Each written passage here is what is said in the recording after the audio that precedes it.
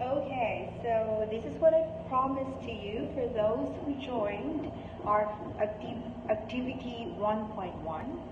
Um, I promised to give you a special course or a special formulary, so this is it now. What I'm going to give you guys is a, a serum type of a cream. So this is a 5% niacinamide booster serum. We can make it up to 10%.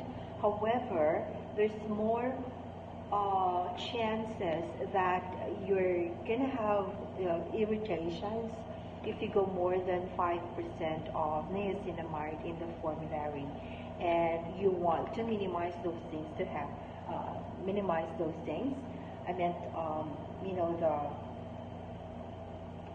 the irritations, we would like to at least create, create something that will not cause any irritations to our consumers. So on our phase A, we actually have, we have our uh, supporting preservation system, which is sodium benzoate.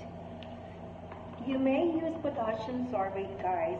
However, potassium sorbate has this uh, fishy smell that I don't like. So uh, that's why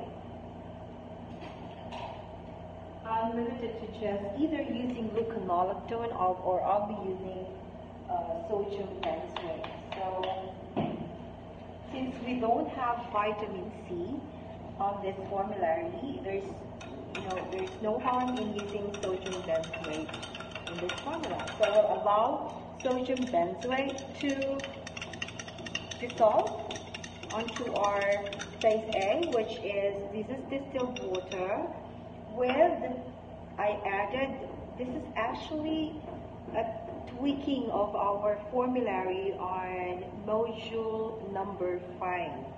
So because this is a, uh, a phase and um, decolletage serum, we were considering all the ingredients to be the, the um, formulary guide that you will be using here is uh, whichever is recommended for facial use. So I just added our two liquids. I've got the seaweed um, distillate here with me. Added to distilled water. Okay.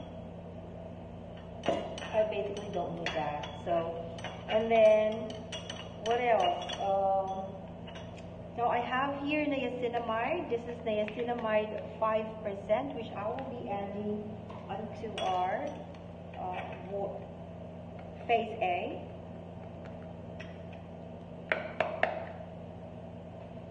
By the way, 5% 5 niacinamide on any formulations